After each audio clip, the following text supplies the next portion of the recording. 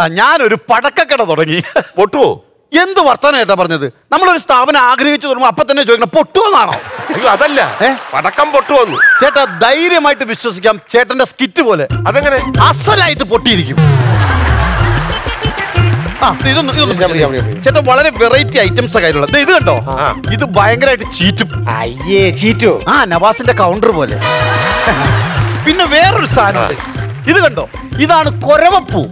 ഇത് കത്തിച്ചു കഴിഞ്ഞാൽ അമ്മായിയുടെ തമാശ കേട്ട ഓഡിയൻസിന്റെ അവസ്ഥയായിരിക്കും. അതെന്താ അവസ്ഥ? കൂവലോട് കൂവലായിരിക്കും. അല്ല എന്തു പറ്റി? പെട്ടെന്നൊരു പടക്കക്കട തുടങ്ങാൻ. പൂരം സീസൺ അല്ലേ ചേട്ടാ അല്ല അതിന് വേണ്ടിട്ടും പൂരത്തിന്റെ സാധനങ്ങൾ വേറെ എന്റെ ആലവട്ടം വെഞ്ചാമരം കഞ്ചാവ്. കഞ്ചാവ്? അല്ല ഞാൻ പറഞ്ഞു വന്നപ്പോ ഒരു ഫ്ലോയ്ക്ക് അങ്ങ് പറഞ്ഞു പോയെന്നുള്ളൂ